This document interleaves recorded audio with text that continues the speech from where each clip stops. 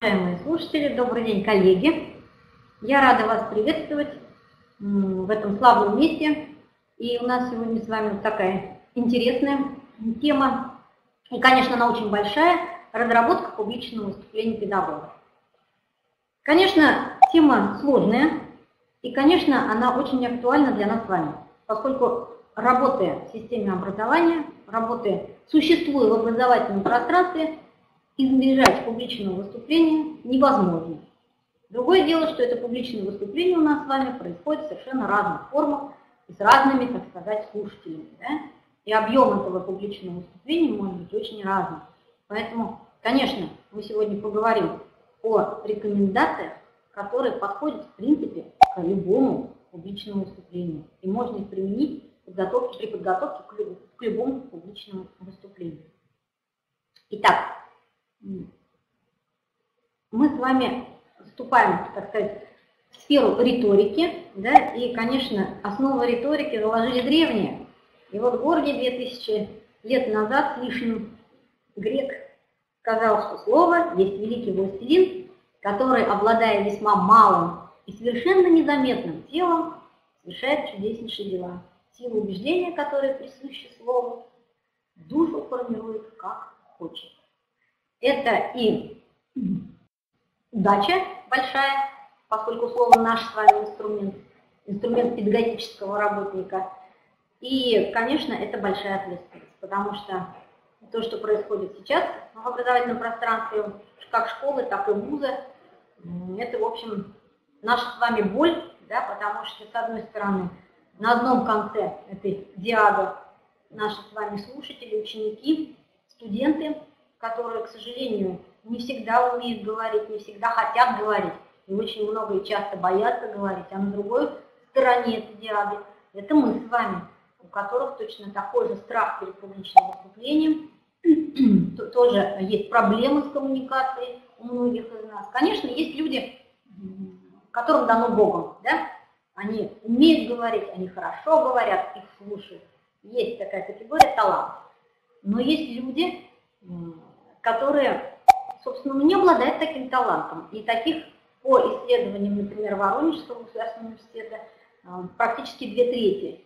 Две трети, представьте себе, только вдумайтесь, две трети учителей испытывают стресс, испытывают напряжение при публичном выступлении, неважно какое это публичное выступление, это родители, это ученики, и они не владеют в достаточной степени языком не владеет нормами языка, не владеет вот этими риторическими умениями, которые позволили бы им хорошо говорить.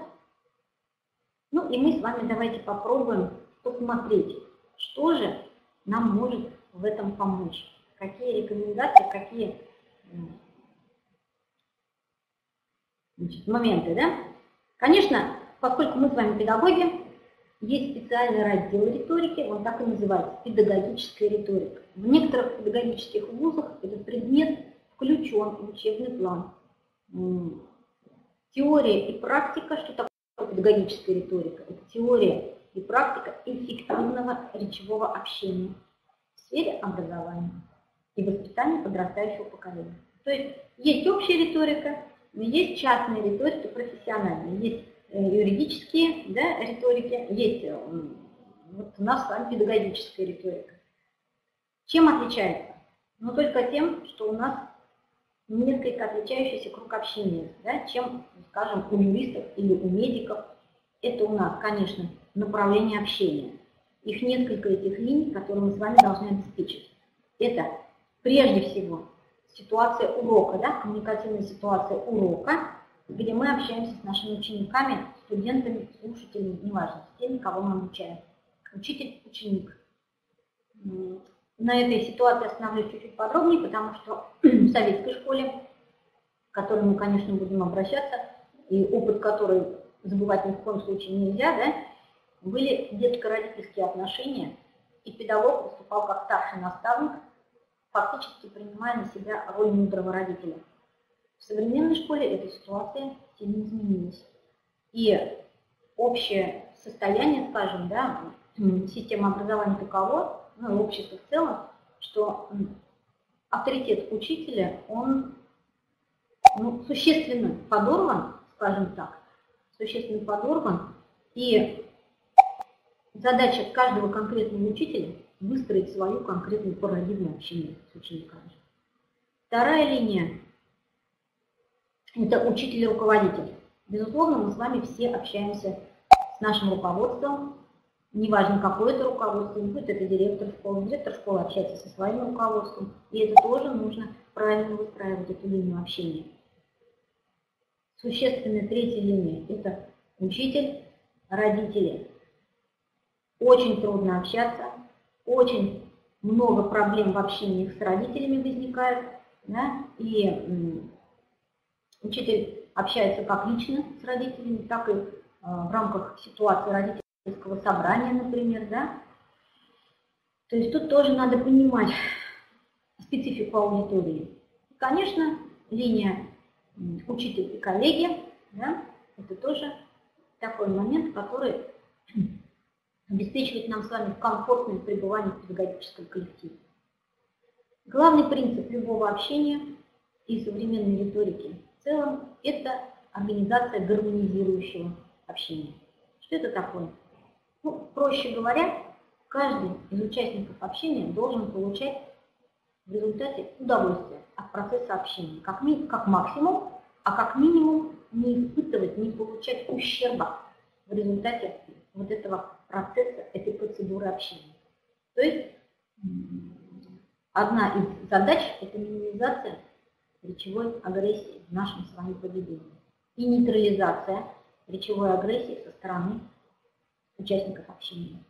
Потому что любая речевая агрессия в основе своей имеет задачу, имеет намерение нанести вред участнику общения. Неважно какой, моральный, там, информационный вред, но нанести вред. И основные качества речи не только педагога, любого выступающего – это целесообразность и эффективность. Одно из главных качеств – целесообразность. Как говорили древние, кораблю, который, кораблю, который не знает, куда плыть, никакой ветер не будет попутным. Поэтому, если у нас нет цели общения, то и наше общение не будет ни интересным ни нам, ни нашим слушателям. Эффективность общения. Эффективность – это результативность. К чему должно привести общение, когда мы выходим с вами? Входим в кабинет, входим в класс, выходим на сцену, на, так сказать, на публику, да? мы должны понимать, к чему, собственно говоря, мы стремимся, чего мы хотим достичь. И результат какой должен получиться. Это наша с вами профессиональная компетенция. Владеть вот такой речью, целесообразно и эффективно, это профессиональная компетенция педагога. Смотрим наш профстандарт. Вы знаете, что у нас с вами утвержден профессиональный стандарт педагога. Вот. И этот профессиональный стандарт рассказывает нам с вами, что мы должны уметь, хотеть, владеть, знать, какие трудовые функции выполнять. Ну, согласно этому профстандарту, вы, конечно, должны очень много чего знать. Ну, знаете, да, очень много чего уметь. Но вот эти вот, посмотрите, пожалуйста, умения, они так и называются в профстандарте, необходимые умения педагога.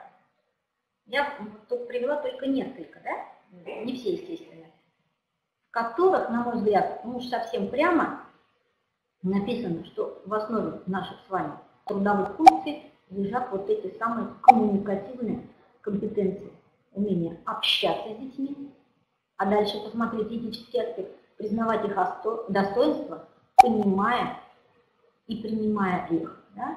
находить ценностный аспект учебного знания информации, обеспечивать его понимание. А как мы можем обеспечить понимание, если мы не объясним? Должны, должны. Переживания обучающимся. Сотрудничать с другими педагогическими работниками в решении испытательных задач. А как сотрудничать? Не разговаривая, не общаясь. Невозможно управлять учебными группами с целью вовлечения обучающихся в процесс обучения, мотивируя их учебно-познавательной деятельности. Здесь ключевые слова «вовлекать» и «мотивировать». Это тоже невозможно сделать, если мы не будем с разговаривать. Я много была в школе, я вижу, что, ну, скажем так, сейчас учебный, а, федеральный государственный стандарт, они позволяют очень много времени уделять на самостоятельно, не на, а, скажем так, организовывать самостоятельную работу обучающихся. И учителя этим активно пользуются. С одной стороны, это, конечно, здорово, научить ребенка самому работать, но с другой стороны, все-таки процесс обучения – это процесс общения. И если мы с вами это исключим, то мы не сможем ни обеспечить понимание, ни переживание, ни усвоение материала.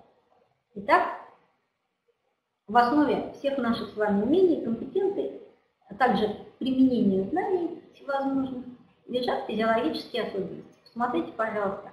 Я думаю, что вы прекрасно знаете об этом, что у нас есть с вами левое и правое полушарие. И левое полушарие у нас отвечает за логику, и там же расположен речевой центр. А правое полушарие, получается, отвечает у нас за эмоцию, за, инту, за эмоции, за интуицию, ну и за все творческие наши с вами способности. Так вот, на специализации этих самых полушарий, от специализации зависят некоторые закономерности общения, не только педагогического, и любого. Я сейчас, вам, сейчас мы с вами поговорим чуть-чуть о законах общения, которые действуют и педагогическая наша с вами коммуникация, э, ситуация педагогического общения, которую, конечно, нужно учитывать. Если вы хотите посмотреть полный перечень этих законов, он очень интересный, любопытный, то это э, представлено в литературе, например, Абрамович есть термина в книжках, вот, ну, вот там это все расписано, но мы с вами не будем, конечно, подробно смотреть, а только несколько а, посмотрим законов общения, которые нужно учитывать при подготовке публичного выступления. Итак, вот эти несколько законов. Первый закон, который мы все с вами трудолюбиво нарушаем, это закон возрастающего нетерпения слушателя. В чем он состоит? Он состоит в том, что чем дольше дается речь, тем больше возрастает, тем сильнее возрастает нетерпение слушателя. В литературе содержатся такие цифры, установленные каким-то образом экспериментально. Это первые 10 минут выступления воспринимаются как 10 минут, вторые 10 как 20, а третьи 10 уже как 30. Таким образом, получасовая речь воспринимается как часовая, 60 минут, и слушатель очень сильно устает. Вот и все.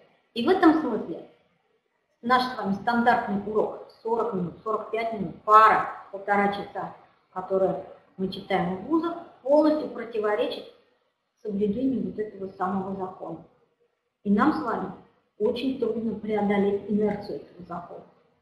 Вот. Чтобы преодолеть этот, этот негативный фон, который соблюдается, создается благодаря этому закону, нам нужно так построить свою речь, чтобы это было интересно на каждом этапе. Закон доверия к простым словам. Очень простой закон. Чем проще вы говорите, тем понятнее слушателю. Простые фразы, простые слова вызывают больше доверия, и речь будет эффективнее. Несоблюдение этого закона может принести вам как вред, так и пользу. Смотрите, чего вы хотите дать. Если вы хотите выступить так, чтобы никто не задал вам вопросов, вы можете свое выступление построить, основываясь на длинных конструкциях, сложных словах, вот, э, ну, с использованием многочисленной терминологии, и тогда слушатели, задавленные вот этим самым изобилием сложных слов, заимствованных слов, э, они просто не смогут вам задать вопрос, потому что не поймут, о чем вы говорили. Таким образом, ваше выступление не принесет вам, скажем так, вреда. Да? Но если вы хотите, чтобы люди вас поняли, люди с вами, дети или родители, поговорили и пообщались, выступление на Очень просто. Это знаете, как ну, Милана мне очень нравится, Винни-Пух говорит, знаешь, сова, ты говорит, не произноси таких длинных слов, потому что, не забывай, у меня в голове опилки, и длинные слова меня только расстраивают. Вот мы все в этом смысле немножко Винни-Пухи, потому что когда мы говорим об устном выступлении, то надо помнить, что у человека объем оперативной памяти составляет всего 3 плюс-минус 2 слова. То есть максимум длины предложения – это 5 слов. Все остальное как шелуха осыпется, и человек, ваш слушатель, ребенок или взрослый, ребенок оперативной памяти еще меньше, он просто вас не услышит, не поймет. Всем знакома эта ситуация, когда ребенок приходит домой, говорит, а я там забыл, не услышал, не знал, да, что я там, что, что задано на дом, или что там сказал учитель, а мама кричит, а чем же ты слушал, ты же был на уроке. А это вот результат как раз несоблюдения этого самого простого, не учет простого вот этого правила об объеме оперативной памяти ребенка. Очень хорошо это знают учителя русского языка, которые диктуют предложения по словам, по кусочкам, зная, что если ты продиктуешь кусочек побольше, то ученики, соответственно, нет.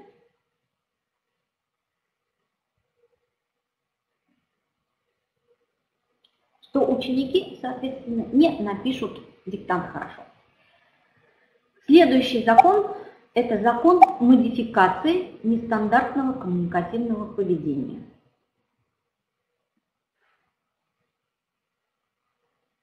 Что это такое?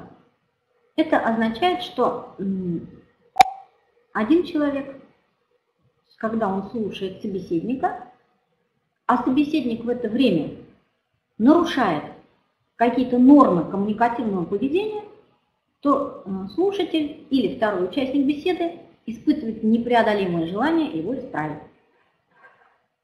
О чем речь? Ну, например, да, если вы в своем выступлении ставите неправильное ударение и говорите вместо табуретка тубаретка, то слушатели будут испытывать очень большое желание вас исправить.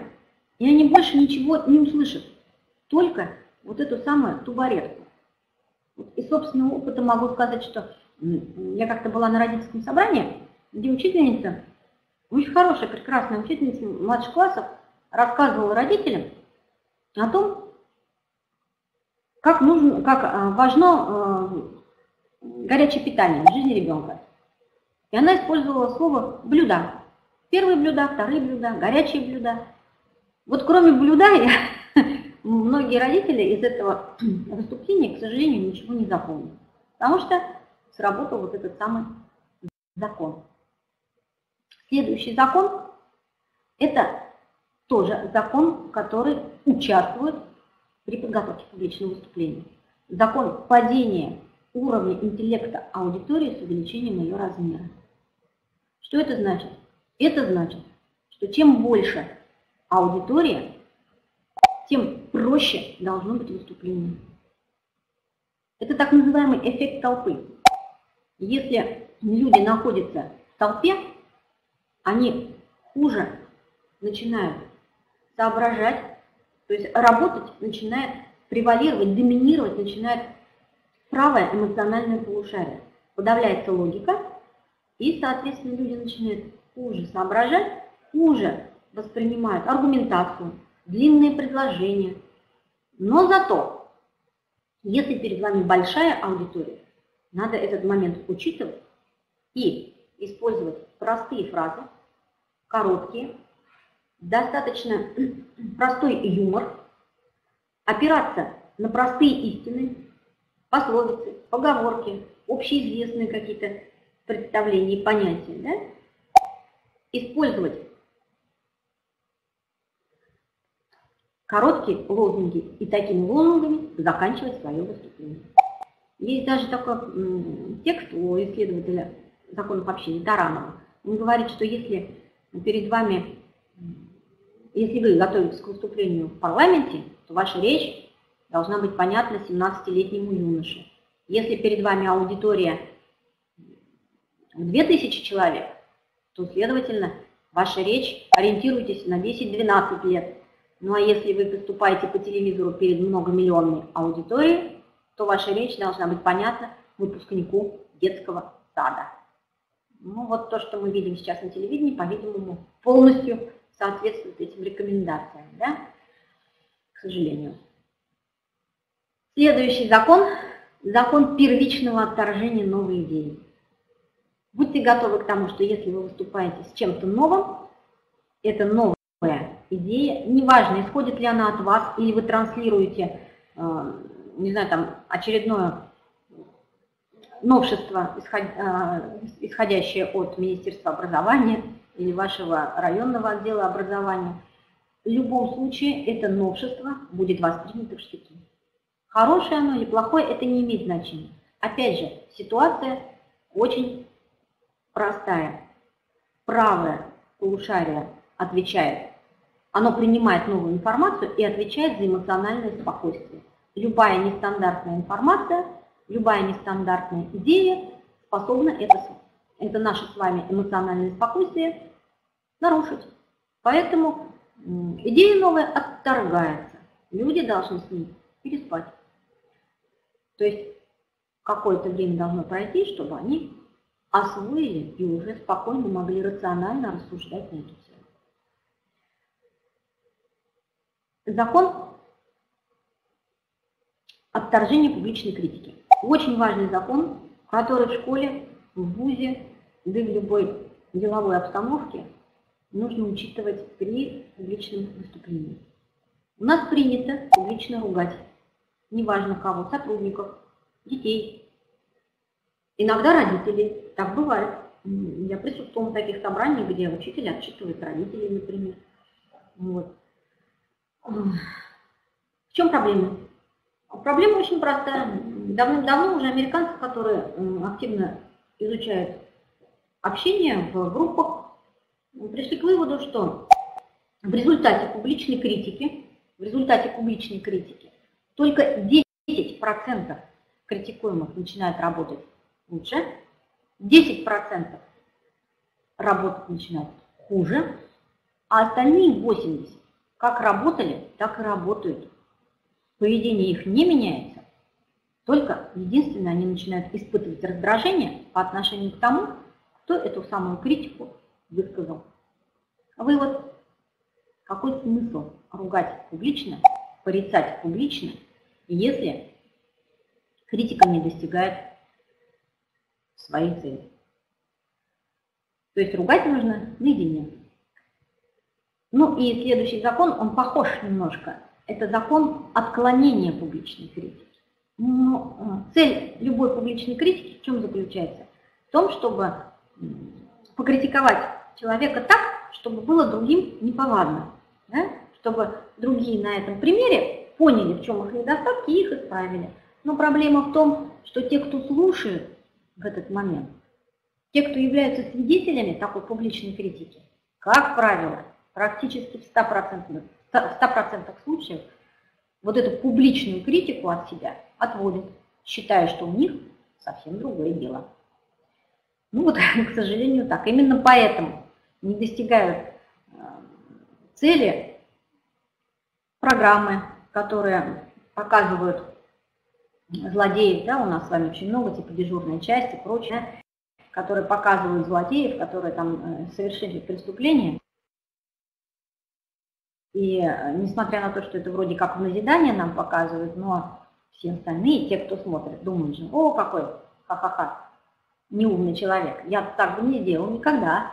Вот. И такую вот критику публичную они от себя отводят, к сожалению. Поэтому тоже совершенно бессмысленное занятие. А, Елена Николаевна, э, Елена Павловна, у нас звук немножко э, скачет. Давайте попробуем действительно отключить видео, оставить один звук, потому что м, сложно воспринимать. Хорошо. Угу. То есть презентацию тоже видно не будет? Будет, будет. Только, а, только ваше изображение пропадет. Отлично, да. прекрасно, очень хорошо. Итак, продолжаем. Но тем не менее, мы с вами находимся в этой ситуации публичного общения. Нам с вами говорить, и мы все оказываемся с вами в той ситуации, когда вдруг... А, Елена Павловна, это вы должны сделать на вашем компьютере. Так, я... А, наверху есть э, три кнопочки, угу. две из них у вас сейчас красные. Да. А, вот та кнопочка центральная, которая с изображением камеры, ее отожмите, чтобы она стала зеленой. Да, вот так. Хорошо. Угу. Все? Угу, продолжаем. Да. Итак, мы все с вами оказываемся, ну, к счастью или к сожалению, в ситуации, когда вдруг нам вечером говорят, а вы выступаете завтра, или надо выступить, пойти там на совещание, на собрание и выступить вот по такой-то теме. Да? И мы с вами, бывает, что попадаем сразу в стрессовую ситуацию, попадаем в стрессовую ситуацию, потому что вот этот самый неожиданный момент, да, а, эффект неожиданности, иногда мы не знаем, о чем говорить, иногда мы знаем только тему и совершенно не представляем, что же там должно быть внутри и что же делать. Вот давайте мы посмотрим самого общего характера рекомендации, которые в этой ситуации можно применить. Итак, эскиз публичного выступления. Нам нужно выступить, мы делаем с вами эскиз. Сейчас в нашей нынешней коммуникативной реальности не принято говорить, к счастью, по бумажке, но тем не менее эта традиция еще сохраняется. Что же делать? Давайте мы с вами все выступление писать не будем. Но первое, что нужно сделать, как мы уже говорили, в соответствии целей выступления, выступления целям, да, значит мы должны определить цели. Какие могут быть цели? Цель у нас с вами бывает общая, то есть что мы хотим? Информировать людей, убедить их в чем-то, активизировать внимание их, просто привлечь внимание к чему-то, да? стимулировать к какой-то деятельности или развлечения. Такая цель тоже может быть, скажем, если у нас с вами вдруг неожиданно нам пришлось с вами говорить тост. Может же такое быть, да? Значит, главное а, а, определиться с самим темой, целью. Общая цель и конкретная. О чем будем говорить? Ну, с темой определились, что мы делаем дальше? А дальше мы должны все-таки с вами написать введение, заключение и переходы между частями. Сами части можно не писать, но вот эти вещи записать надо. То есть, что мы используем в качестве введения, с чего мы начнем. Это самое главное. Как уже говорят, у вас никогда не будет второго шанса произвести первое впечатление. Поэтому очень важно введение написать. Заключение, чем вы будете заканчивать, и переходы между частями смысловыми. Тоже надо понять, что, как это делается. Что можно, чем можно начать публичное выступление? Введение. Ну, с чего начинаем? Нужно расположить слушателей. Слушатели не всегда бывают, так сказать, расположены нас слушать с вами, но бывают ситуации, когда слушатели в штыки воспринимают вообще все, что мы с вами говорим. Это очень часто бывает на родительских собраниях общего характера, да, когда вот общешкольные родительские собрания или э, коллеги собираются на какие-то советы, да, тоже, а вы им должны преподнести что-то, что они сделать еще должны. То понятно, что они нас не будут рады нас слышать, да? но тем не менее мы должны это сделать. Если у нас пассивная аудитория, тем хуже. Это даже хуже, чем если аудитория настроена скептически к нам. Потому что раскачать пассивную аудиторию сложнее, чем переубедить негативно настроенную. Что для этого используем? С чего начинаем? Можно с цитаты, можно, подходящий по теме, с шутки, можно использовать похвалу, комплимент в адрес аудитории. Как говорил Глеб Жиглов в незабвенном фильме да, «Место встречи изменить нельзя», какой Шарапов спрашивает, слушай, Глеб, а почему тебе все все рассказывают? А Жиглов говорит, а это потому, что ты не знаешь трех правил Глеба Жиглова. Говоря с людьми, всегда улыбайся. Люди это любят. То есть расположение слушателей, да, располагать их нужно к себе. Заинтересованные слушатели. Как можно заинтересовать в том, что вы собираетесь сообщить? Ну, нужно связать тему речи с их личными интересами. Все, других вариантов нет. Других вариантов нет.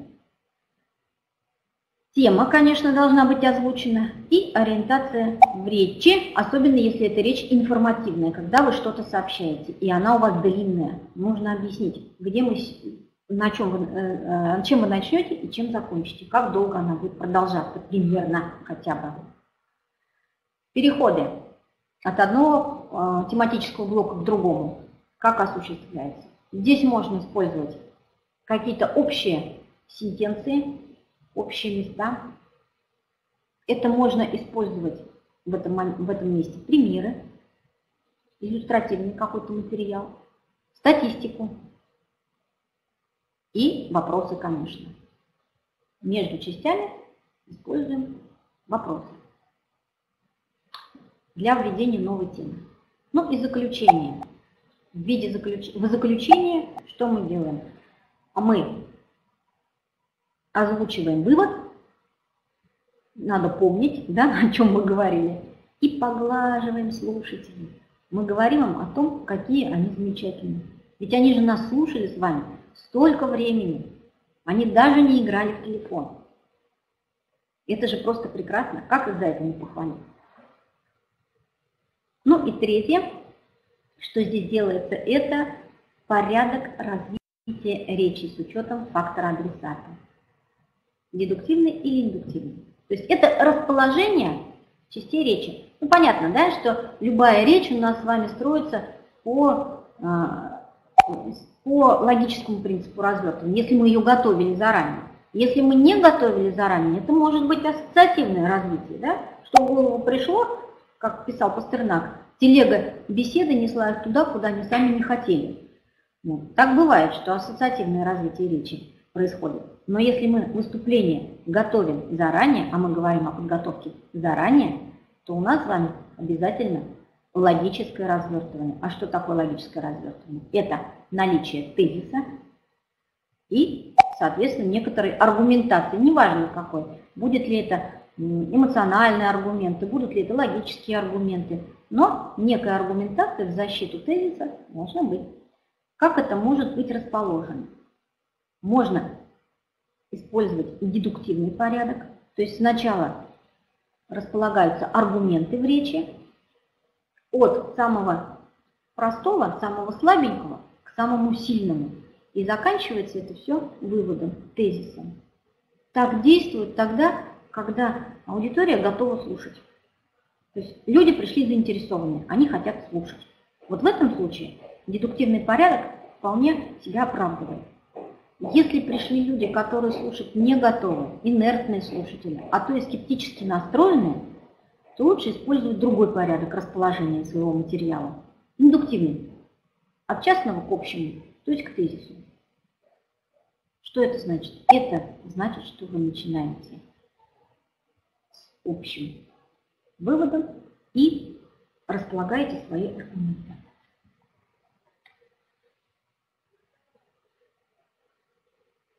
Кстати говоря, а, при расположении частей в речи. Необходимо учитывать, конечно, и ну, состав аудитории, возрастной, ясное дело, да, гендерный, потому что если у вас аудитория состоит из преимущественно женщин, да, из женской аудитории, то в ней предпочтительнее использовать индуктивный метод, то есть тезисами завершать свое выступление, и использовать конкретные примеры как можно больше, потому что у женщин воспринимается материал, женской аудитории воспринимается материал тот лучше, который снабжен конкретными четкими примерами. У мужчин в аудитории преимущественно мужской лучше использовать, можно использовать, вернее, отвлеченные рассуждения, статистику, цифры и логические аргументы. У женщин преимущественно эмоциональные. Как мы изобретаем содержание? Это на тот случай, если у нас с вами, ну вот, не знаем, что сказать, да, есть тема, а мы не знаем, что сказать. То есть мы должны с вами содержание нашего выступления придумать. Понятно, сейчас у нас есть прекрасный друг интернет. Мы можем туда заглянуть с вами, что мы и делаем, как правило, да. И это такой кладезь знаний, такой кладезь сведений, переоценить который невозможно. Однако мы прекрасно с вами знаем, что если заглянуть в этот самый интернет, то мы можем там набрать, в общем, довольно странные сведения. Либо их будет слишком много, и мы не будем понимать, как с ними справляться, с этими сведениями, с этим изобилием. Либо, напротив, их будет слишком мало, это будет повторение одного и того же. Тогда что делать? Ну, тогда надо изобретать. Как изобретать? Ничего нового не придумываем, обращаемся к классическим риторическим приемам. Итак, первый способ – это использование общих мест, то есть топика. Что такое топика? Топика – это темы. Это то, что слово, слово топика происходит от греческого топос – место. Общее место – это как раз вот такие общие темы. Что это такое? Это смысловые модели, которые можно использовать при организации материала. Прежде всего это род и вид, определение, целая часть, свойства, сопоставление причины и следствия, обстоятельства, пример, свидетельство и имя. То есть каждый раз, когда вы начинаете составлять свое выступление, можно использовать или одну модель, или чередовать разные модели. Как раз это и будут такие микротемы, между которыми вы потом сможете поставить свои переходы, вопросы, какие-то примеры, какие-то анекдоты вставить. Да? Это как раз то, что поможет вам организовать материал. Ну, например, да, тот же самый Аристотель у нас рассуждал по поводу того, что такое человек. И он говорил так, что человек ну как вот его отличить да, от всего остального? Как дать определение? Он сказал, что человек – это двуногое существо без перьев. Он использовал вот этот вот топик род и вид, когда он взял общее понятие о том, что такое существо, и дал разновидность, что мы не просто существо, мы двуногое, а еще и без перьев. Очень хорош топ, например, сопоставление. Да? Если мы с вами строим какое-то выступление, то топ сопоставления или противопоставления очень хорош в том смысле, что можно сопоставить то, что сейчас и то, что было, или то, что сейчас и то, что будет, планируется. Да?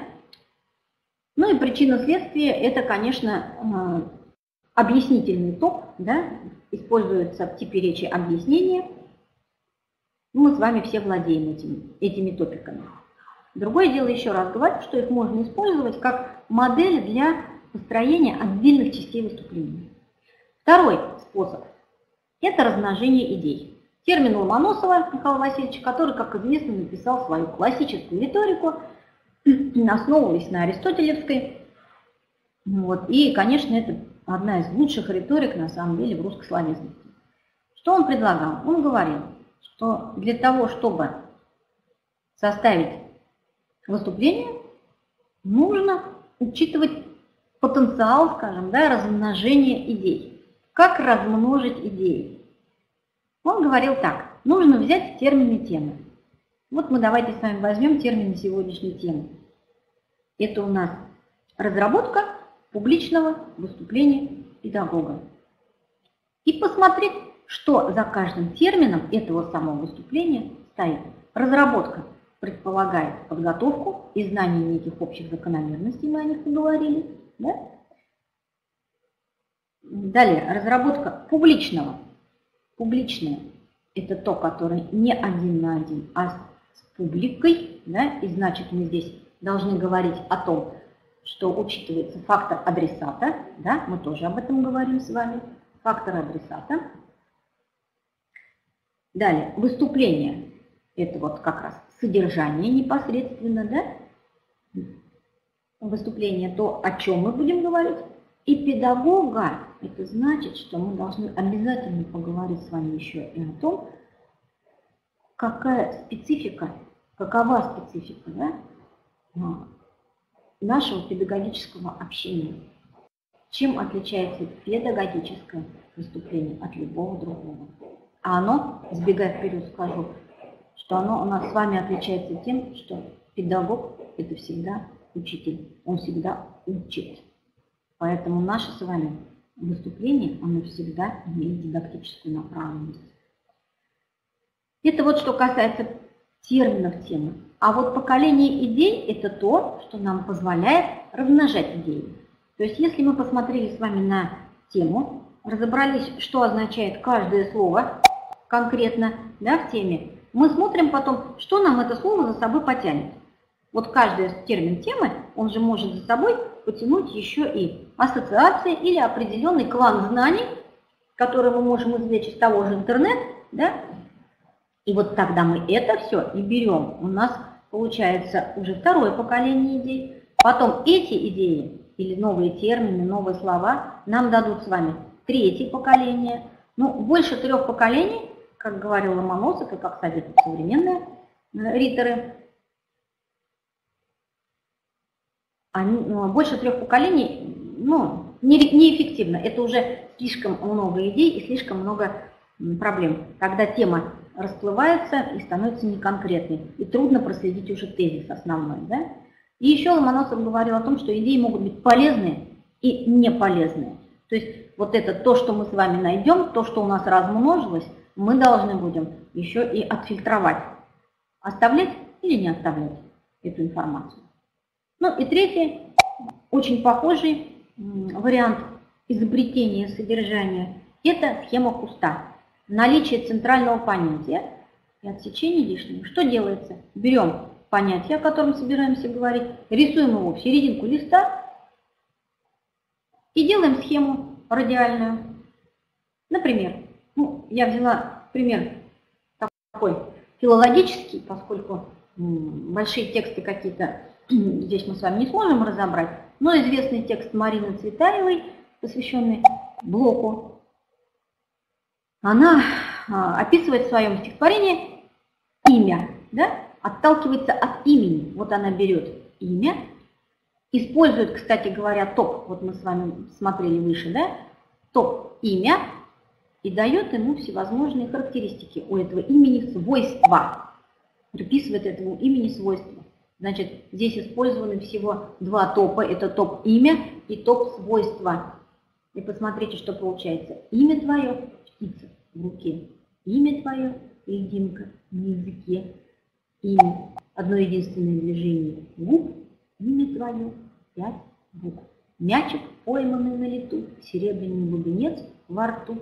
Камень, кинутый в тихий пруд, схлипнет так, как тебя зовут в легком щелкании ночных копыт, громкое имя твое, ну и так далее, да? Что получается? Автор берет имя и отталкивается от его внешней формы. Она берет артикуляцию, вкус, вкусовые ощущения, льдинка на языке и артикуляцию движения губ. Да? Она берет визуальный образ, птица, мячик, бубенец, камень и аудиальный то есть то, как звучит это имя. Да? Громкое имя звучит, звонко щелкающий, схлипнет. И последнее, скажем, последний куст, ветка, это эмоция, платоническая любовь, которую испытывает лирическое героиня стихотворения по отношению к объекту речи. Имя твое, ах, нельзя, имя твое, поцелуй в глаза. Ну и так далее. То есть это вот как раз такой простой пример использования Схема пуста. Задача вас, как садовника, отрезать лишние ветки, которые мешают восприятию темы. Итак, изобрели содержание. Приходим в аудиторию. Что мы делаем? Самое главное – это завладеть вниманием слушателей и удержать его. Как? Ну, если вы приходите, я э, в школе работала, я работаю в ВУЗе, иногда бывает трудно. Мы с вами прекрасно знаем, что приходишь и бывает трудно, и они не смотрят. Удержать, привлечь внимание только нестандартным поведением и внешним видом. В одежде должно быть одно яркое пятно. Обязательно у женщины, ну, у мужчины громкий голос. Это немало. Что мы делаем? Как управляем вниманием? Мы должны привлечь внимание, значит, мы используем уже имеющиеся интересы. Если мы не обращаемся к слушателям, не затрагиваем То, что им интересно, слушать нас не будут. Вот и все. Создавайте новые интересы. Да, вот от старых, если мы говорим, все-таки сообщаем какую-то новую информацию, от старых мы должны перейти к новым. Сразу с новых не начинаем, потому что это, вспоминаем закон отторжения новой идеи, будет воспринято в штыки. Учитываем степень информированности. Мы не можем всегда а, в нашем выступлении предлагать только новую информацию. Мы должны опираться на старую. Опять же, да, если только новая информация, слушатель отключается очень быстро. Контролируем темп речи. Ну, это понятно, да, не очень быстро говорим и не очень медленно. Нынешние слушатели торопятся, времени мало, поэтому долго нас слушать никто не будет. И, конечно, обратная связь. Мы должны похвалить слушателей, мы должны пошутить, мы должны рассказать анекдот. Тогда они нас будут слушать, тогда им это будет интересно. Похвала – это самое главное. Собеседника нужно укрупнять. Как мы свою речь строим? Квантуем, квантуем разделяем ее на части. Как? Ну, конечно, по смыслу, да?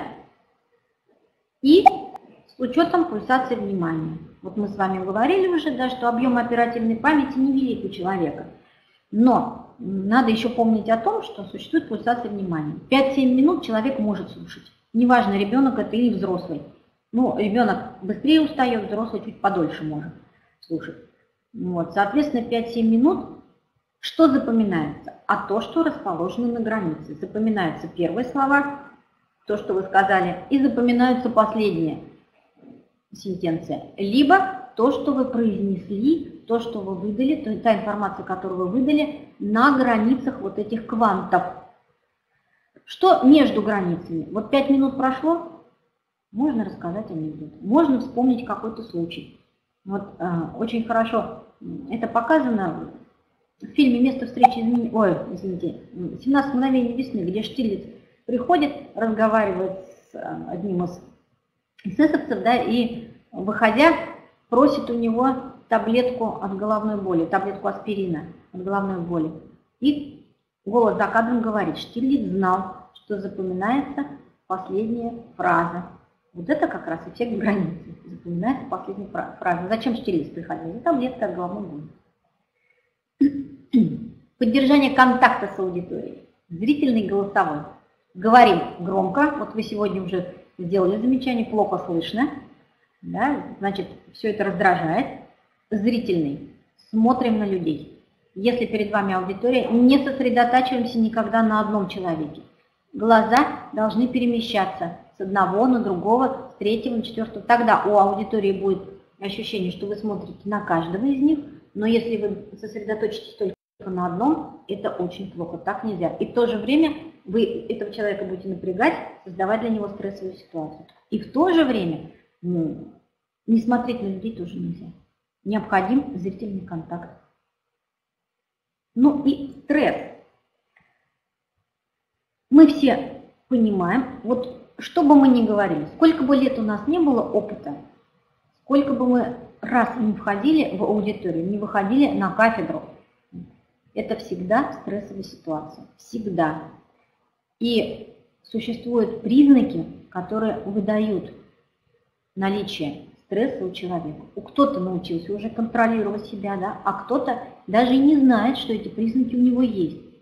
Эти признаки легко устанавливаются, если посмотреть на себя со стороны, на видеозаписи, например. Да? Это повторяющееся движение. Скажем, э, у женщин трогают волосы, поправляют волосы. У девочек, если девочки, студентки, жуют волосы, одергивают юбку. Мужчины поправляют галстук, трогают воротничок рубашки, бренчат мелочью, крутят ключи на пальцы и так далее. Вот эти все признаки, я уже не говорю о физиологических признаках стресса, таких как э, покраснение, да, там человек спотел, судорожно вздыхает, это, конечно, все признаки стресса.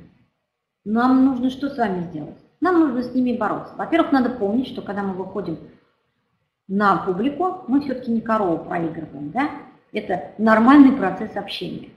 А во-вторых, способ, одним из способов борьбы вот с этими стрессовыми ситуациями является э, совершение каких-то ритмичных повторяющихся движений. Это может быть, например, возьмите ручку, и можно ей постукивать, включать-выключать.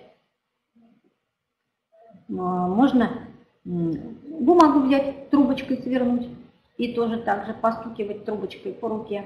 То есть это вот такие ритмичные способы, ритмичные, вернее, повторяющиеся движения, которые помогают успокоиться.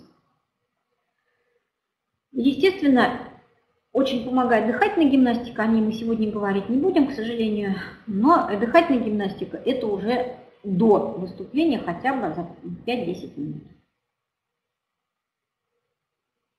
И закончить мне хотелось бы, ну, от этого никуда не деться, этическим аспектом публичного выступления.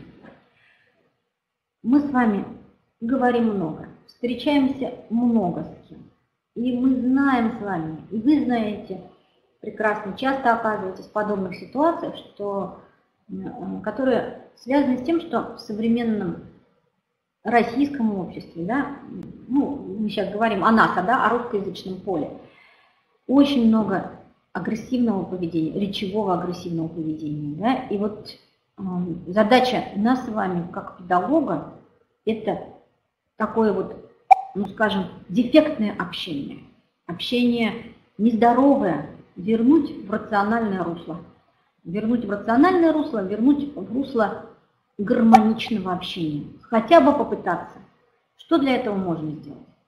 Можно использовать конформные речевые тактики и стратегии. То есть такие, которые направлены на достижение все-таки согласия. Да? Что это? Приемчики какие? Ну, например, закон имени. Говорим с собеседниками, всегда называем их по имени. Стараемся почаще, особенно имя отчество, особенно со взрослыми, чем чаще произносите имя, тем больше успех в вашей коммуникации. Укрупнение собеседника. Что мы делаем? А мы должны для себя решить, что наш, наши вот слушатели, наши собеседники все замечательные люди. И мы их должны хвалить, а, давать комплименты. Пусть это будет преувеличением, но, но оно все равно будет иметь значение. Подмазывание аргументов – это тоже из этой области. Что мы делаем? Ну, например, мы с вами хотим что-то сообщить и говорим людям, мы же с вами умные люди, да? Мы же все понимаем. Ну вот нам придется сделать вот так и так. Мягкое валение. Никогда не приказ, никогда не... Ну, если это, конечно, жанр такой, да, э, то приказ. А если мы говорим о обобщении, о публичном общении, то это мягкое валение. Это просьба, просьба или предложение, пожелание, высказанное в вопросительной форме. Да? Вы не могли бы сделать то-то и то-то? Это лучше, чем мы не сделаем то-то и то-то.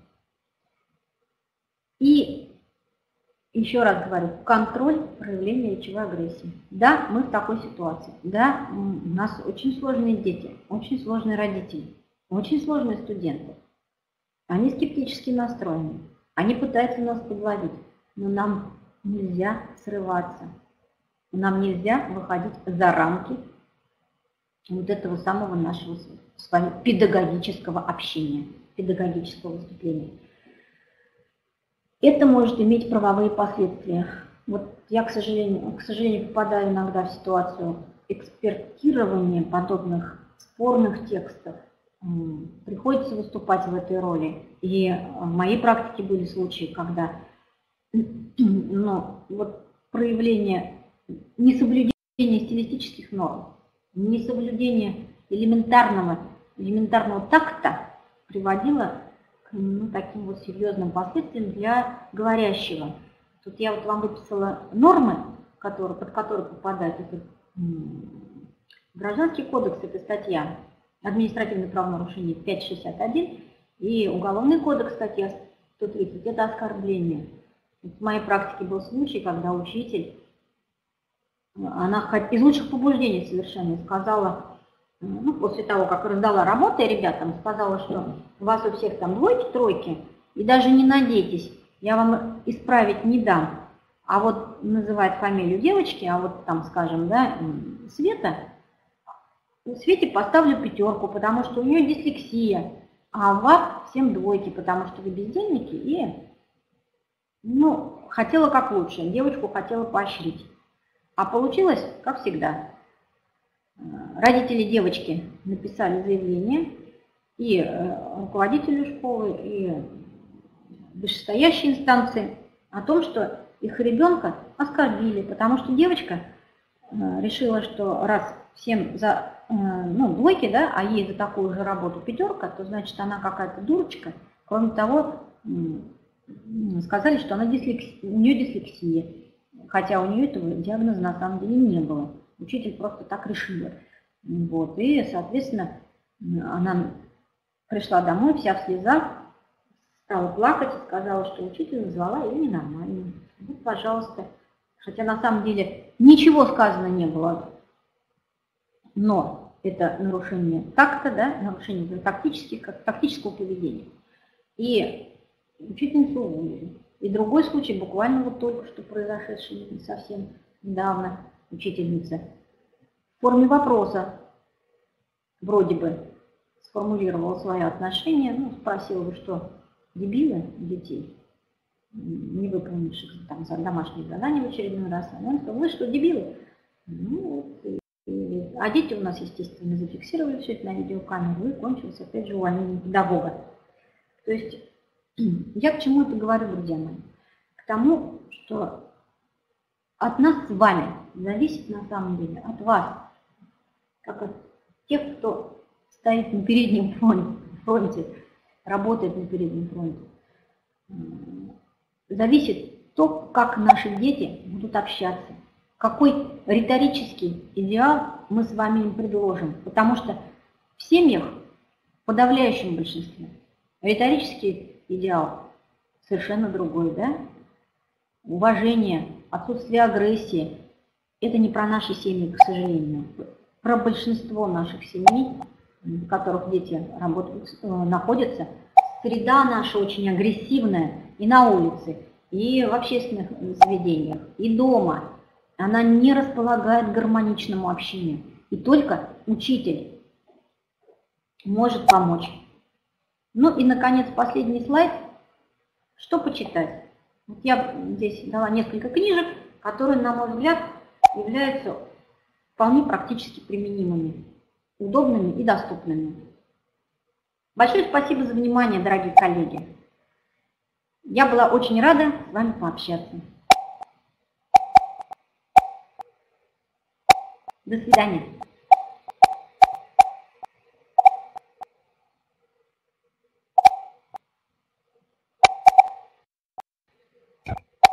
Дорогие друзья, давайте поблагодарим э, Елену Павловну за замечательный вебинар.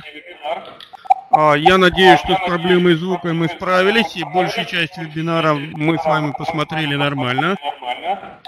А, кроме того, а, напоминаю, что вебинар будет в записи, и мы сможем с вами еще раз его посмотреть, если посчитаем нужным. А, выше я дал ссылку на то, где можно получить сертификат.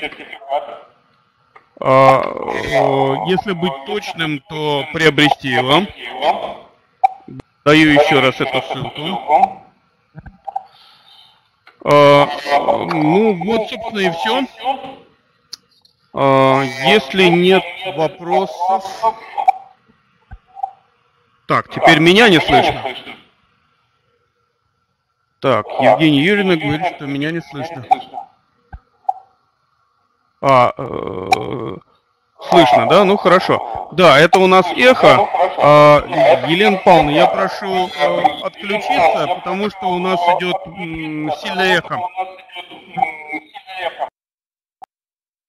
А, да, вот, наверное, сейчас лучше меня слышно. А, где можно скачать презентацию. Презентацию можно скачать э, в окошке ресурсы.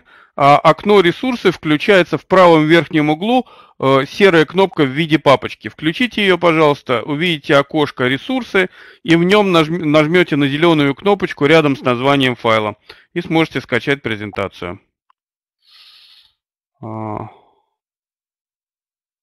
А, а, да, еще одна рекомендация – Э, при приобретении сертификатов э, может так случиться, что временно нас очень много, и э, все сразу перейдут на оплату сертификатов.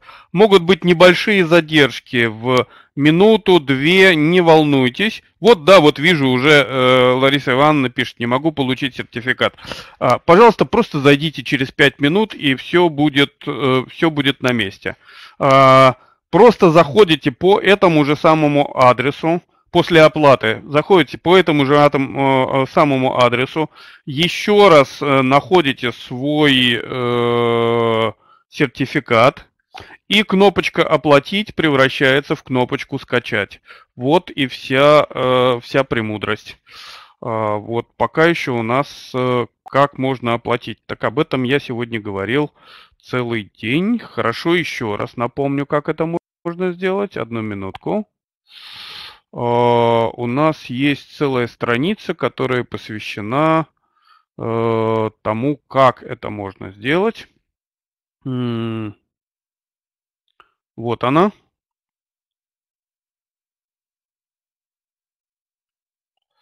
А, и там, а, там есть две две пошаговые инструкции, одна, из, э, одна за другой, но каждая по четыре шага.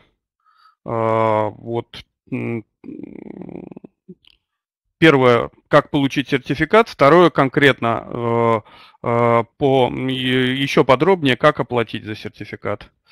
Как прослушать само выступление?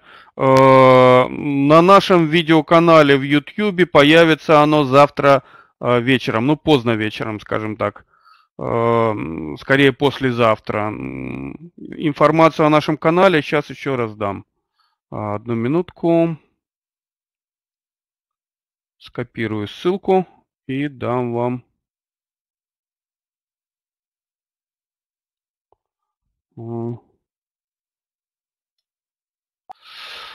А, так, Ирина Геннадьевна, сейчас я поищу прямо, прямо не отходя от э, вебинара. А, так, давайте я завершу запись, потому что это уже